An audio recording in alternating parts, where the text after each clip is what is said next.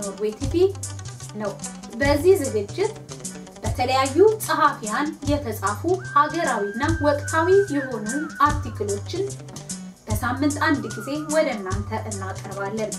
ለዛሬው አቻምየለህ ታምሩ በጠራራ ፀሐይ አገር ሲዘረፍ ብለው የጻፉትን እንደሚከተለው አሰማችኋለሁ። በጠራራ ፀሐይ አገር ሲዘረፍ በያዝነው የፈረንጆች ዓመት በወረሃ ጥር የወያኔ ካድሬዎችና የአገዛዙ የፕሮፓጋንዳ ተቋማት የሆኑት እነ ኢቢሲ፣ ዋልታ፣ ፋና፣ ኢዚያ ወዘተ ትግራይ በታሪኳ ለብሔራዊ ባንክ አቀረበችው ስላሉት የወርቅ ምርት መጠን በስፋት ዘግበው ነበር። የአገዛዙ ልሳን ኢቢሲ እንደ ኢሮፓያን አቆጣጠር ጥር 7 ቀን 2016 ዓ.ም ባቀረበው ርዕሰ አንቀጽ ዋልታ እንደ ኢሮፓያን አቆጣጠር ጥር 9 ቀን 2016 ዓ.ም ባስደመጠው የዜና እወጃ ኢዜአ ጥር 16 ቀን 2016 ዓ.ም ባስነበበን ሪፖርት ትግራይ እንደ ኢሮፓያን አቆጣጠር ከሐምሌ 2012 ዓ.ም እስከ ታህሳስ 2016 ዓ.ም ድረስ 597.7 ቶን ወርቅ በባህላዊ መንገድ እንዳመረተችና ለኢትዮጵያ ብሔራዊ ባንክ እንዳቀረበች ነግረውናል። evidence 1 evidence 2 ይህንን ልማታዊ ዜና የሰሙ ብዙ ሰዎች ትግራይ ከየት አምጥታ ነው ይህንን ያህል ወርቅ አምርታ ለብሔራዊ ባንክ የምታቀርበው በማለት ከቁጥሩ ጀርባ ያለውን የምጣኔ ሀብት ትርጉም ሳያጤኑ አጣጥለው ታልፈዋል። ሆኖም ግን ከቁጥሩ ጀርባ ወያኔ ትልቅ አገራዊ ዘረፋና ወንጀል ፈጽሟል። ወያኔ በቁጥሩ ቁማር ተጫውቶ የኢትዮጵያን የሁለት ዓመት ባጀት ያህል ብሔራዊ ሀብት በአንድ ግብይት ብቻ ወደ ትግራይ አሽሽቷል ወይንም አሻግሯል። ነገሩ እንዲህ ነው። ከኤቪደንስ 3 ሐምሌ 2012 ዓ.ም እስከ ታህሳስ 2016 ዓ.ም ድረስ 597.3 ቶን ወርቅ ከትግራይ ለኢትዮጵያ ብሔራዊ ባንክ ቀረበ ማለት በ42 ወር ውስጥ 597.7 ቶን ወርቅ ከትግራይ ለብሔራዊ ባንክ ቀረበ ማለት ነው።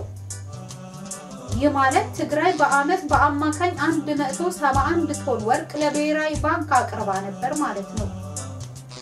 በኢትዮጵያ የንግድ ሕግ መሰረት የኢትዮጵያ ብሔራዊ ባንክ ብቸኛው ወርቅ ገዢና አስቀማጭ ተቋም ነው። ክልሎች በየክልሉ የተመረተውን ወርቅ ለብሔራዊ ባንክ ሲያቀርቡ ብሔራዊ ባንክ ክልሎች ላቀረቡት የወርቅ መጠን ክፍያ ይፈጽማል። ለምሳሌ ትግራይ 597.7 ቶን ለኢትዮጵያ ብሔራዊ ባንክ ስታቀርብ የኢትዮጵያ ንግድ ባንክ ለትግራይ ክልል የ597.7 ቶን ወርቅ ክፍያ በገንዘብ ይፈጽማል። ያልቀረበ ወርቅ ሪፖርት ተደርጎ ብሔራዊ ባንክ ላልቀረበ ወርቅ እንደቀረበ ተደርጎ ክፍያ ቢፈጽም ከአንድ ቦታ ወደ ሌላ ቦታ የሀብት transfer ይኖራል ማለት ነው። ወያኔ የነገረን ትግራይ ለብሔራዊ ባንክ ያቀረበችው 597.7 ቶን ወርቅ ማለት 597700 ኪሎ ግራም ወርቅ ማለት ነው። ይህ ማለት ደግሞ 19 ሚሊዮን 216473 ወቄት ወርቅ ማለት ነው። ከሐምሌ 2012 ዓ.ም እስከ ታህሳስ 2016 ዓ.ም ድረስ በነበሩት ዓመታት ውስጥ አማካኝ የአንድ ወቄት ወርቅ ዋጋ 1100 የአሜሪካን ዶላር ነበር። ይህ ማለት ትግራይ አቀረበችው የተባለው 597.7 ቶን ወርቅ ዋጋ 21376 ቢሊዮን የአሜሪካን ዶላር ይሆናል ማለት ነው። ይህ ማለት በወያኔ ዜና መሰረት ትግራይ ከሐምሌ 2012 ዓ.ም እስከ ታህሳስ 2016 ዓ.ም ድረስ ለኢትዮጵያ ብሔራዊ ባንክ ላቀረበችው 597.7 ቶን ወርቅ ብሔራዊ ባንክ 21.376 ቢሊዮን የአሜሪካን ዶላር ከፍሏታል ማለት ነው። የኢትዮጵያ ያለፈው ዓመት ባጀት 10 ቢሊዮን ዶላር ነው። ይህ ማለት ከሐምሌ 2012 ዓ.ም እስከ ታህሳስ 2016 ዓ.ም ድረስ ትግራይ ለኢትዮጵያ ብሔራዊ ባንክ አቀረበችው ለተባለው 597.7 ቶን ወርቅ የተከፈላት 21376 ቢሊዮን የአሜሪካን ዶላር ከኢትዮጵያ የሁለት ዓመት በጀት በላይ ነው ማለት ነው። ዋናው ቁልፍ ጥያቄ እውነት ትግራይ ከሐምሌ 2012 ዓ.ም እስከ ታህሳስ 2016 ዓ.ም ድረስ ለኢትዮጵያ ብሔራዊ ባንክ 597.7 ቶን ወይንም ከሐምሌ 2012 ዓ.ም እስከ ታህሳስ 2016 ዓ.ም በየዓመቱ 171 ቶን ወርቅ አቅርባለች ወይ የሚለው ነው። ይህንን ጥያቄ ለመመለስ የዓለም አገሮችን የወርቅና የሌሎች ማዕድናትን ዓመታዊ ምርት ማስረጃ የሚሰበስበውንና የሚያደራጀውን የዩናይትድ ስቴትስ Geological Survey USGS Mineral Resource Program ዓመታዊ የዓለም ማዕድናት ምርት ሰንጠረዥን ማየት በቂ ነው። ይህ የአሜሪካን ተቋም በዓለም ላይ ያሉ ማዕድን አምራች አገሮችን የማዕድን ዓመታዊ ምርት አሃዝ ሰብስቦ ደረጃ ያወጣና የዓለም ሀገሮችን በማዕድን ምርት ያወዳድራል። በዚህ መስሪያ ቤት ማስረጃ መሰረት ከሐምሌ 2012 ዓ.ም እስከ ታህሳስ 2016 ዓ.ም ድረስ በዓለም ላይ በወርቅ ምርት አንደኛ ቻይና ስትሆን ዓመታዊ የወርቅ ምርት መጠኗ 403 ቶን ነው። ሁለተኛዋ የዓለም ወርቅ አምራች ሀገር ደግሞ አውስትራሊያ ስትሆን ዓመታዊ የምርት መጠኗ ደግሞ 250 ቶን ወርቅ ነው። ሶስተኛ አሜሪካ ስትሆን 235 ቶን ወርቅ በዓመት። አራተኛ ሩሲያ ፌዴሬሽን 217.8 ቶን ወርቅ በዓመት። አምስተኛ ፔሩ 161 ቶን ወርቅ በዓመት። ስድስተኛ ደቡብ አፍሪካ 160 ቶን ወርቅ በዓመት። ሰባተኛ ካናዳ 103 ቶን ወርቅ በዓመት። ስምንተኛ ሜክሲኮ 96.7 ቶን ወርቅ በዓመት። ዘጠነኛ ኡዝቤኪስታን 93 ቶን ወርቅ በዓመት እና ጋና 86.5 ቶን ወርቅ በዓመት በዓለም ላይ አስሩ ከፍተኛ ወርቅ አምራች ሀገሮች ናቸው። ወያኔ ኢትዮጵያ ትግራይ ብቻ ከሐምሌ 2012 ዓ.ም እስከ ታህሳስ 2016 ዓ.ም ድረስ በየዓመቱ 171 ቶን ወርቅ ለብሔራዊ ባንክ አቅርባለች ያለው እውነት ቢሆን ኖሮ ኢትዮጵያ በወርቅ ምርት በዓለም ደረጃ ፔሩን ቀድማ ሩሲያን ተከትላ አምስተኛ ደረጃ ላይ ትሆን ነበር። ልብ በሉ ከአንድ እስከ አስር የወጡ አገሮች ሁሉ ወርቅ የሚቆፍሩት በጣም በዘመናዊ በሆነ መሰርሰሪያ ማሽን ነው።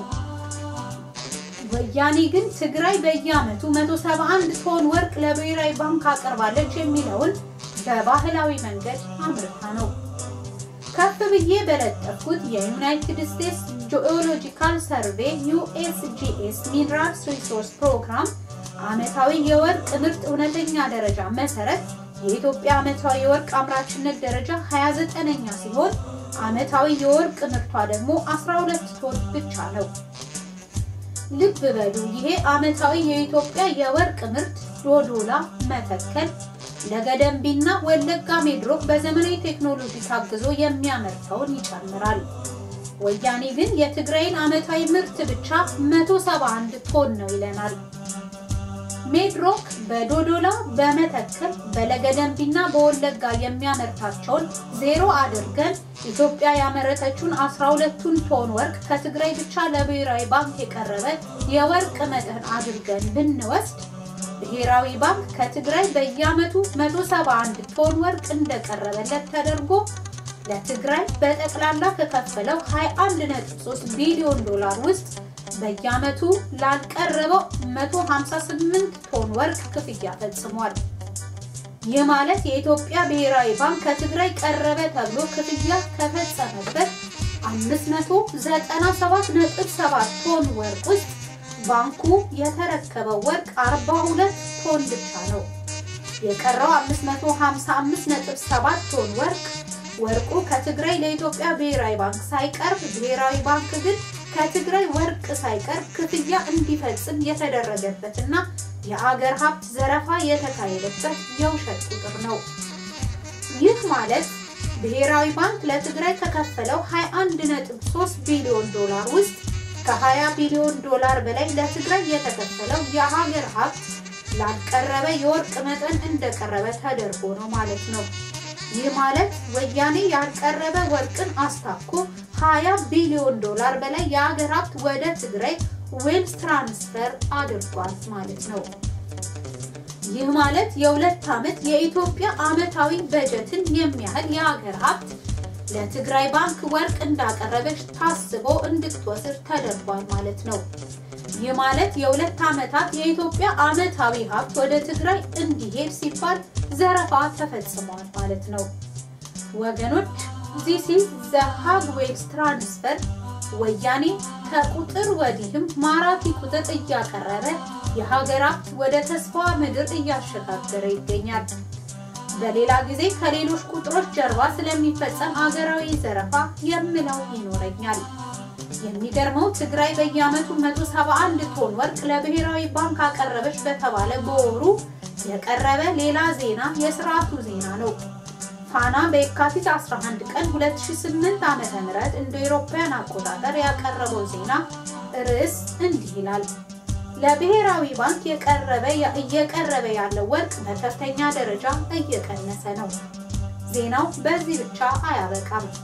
ከ2004 ዓ.ም እስከ 2008 ዓ.ም እንደ አውሮፓውያን አቆጣጠር በየዓመቱ 171 ቶን ወርቅ ትግራይ ለብሔራዊ ባንክ አቀረበች እንዳልተባለ ብሔራዊ ባንክ ከ2005 ዓ.ም ጀምሮ ከተለያዩ የሀገሪቱ ክፍል በባህላዊም ሆነ በዘመናዊ መልኩ ተመርቶ የሚቀርብለት ወርቅ በእጅጉ ቀንሷል። በ2005 ለባንኩ የቀረበው 8.1 ቶን ወርቅ ነው። በ2006 ዓ.ም ደግሞ 7.4 ቶን ነው። በ2007ም በጣም አሽቆልቁሏል። 5.4 ቶን ድረስ ወርዷል አሉ። ይህ ሁሉ የሚሆነው ከትግራይ ብቻ ለብሔራዊ ባንክ ከዓመት 171 ቶን ወርቅ ቀረበ ተብሎ 20 ቢሊዮን ዶላር እንደ ቀላል ወደ ትግራይ transfer እንዲሆን ባደረጉ በአንድ ወር ውስጥ ነው። አይች ሀገር ማፊያዎች የውሸት ቁጥር እየቀቀሉ ሌላውን ጾም ደፍተውና አራቁተው የድሆችን ሀብት ወደ መንደራቸው ያግዛሉ። በአንድ ማጭበርበር ብቻ 20 ቢሊዮን ዶላር የአገር ሀብት ወደ መንደራቸው አሸሹ።